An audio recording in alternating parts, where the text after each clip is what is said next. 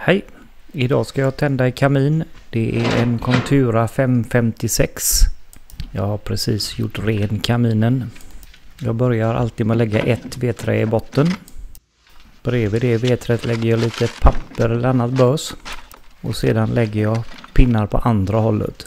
Det är inte så noga att det är småpinnar.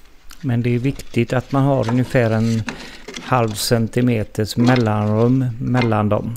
Sedan lägger jag några på andra hållet så att jag får en luftspalt emellan. Och sedan lägger jag ytterligare ovanpå där. Jag vill ha minst fyra lager som lågorna slingras upp i. En sån här laddning som jag lagt i nu brinner ungefär två timmar. Sedan tänder jag på pappret, antingen med en tändsticka eller med min gasolbrännare.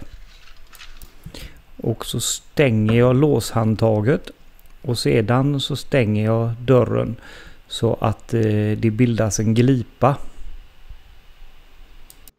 Och i början ser det kanske ut som det håller på att slockna men det gör det inte utan det drar igång efter en liten stund. Så jag sätter eh, kameran framför och filmar in så får den gå på timelapse så länge. Och timelapsen är 10-15 minuter i eh, verkligheten. Sedan när det brinner ordentligt, det ska vara ett riktigt drag innan jag stänger dörren på riktigt. Och när lågorna har kommit upp så här, då kan man stänga dörren. Elden kommer att falla tillbaka ordentligt men sedan tar det sig. Tack för idag och prenumerera gärna på min kanal så blir jag glad. Tack och hej!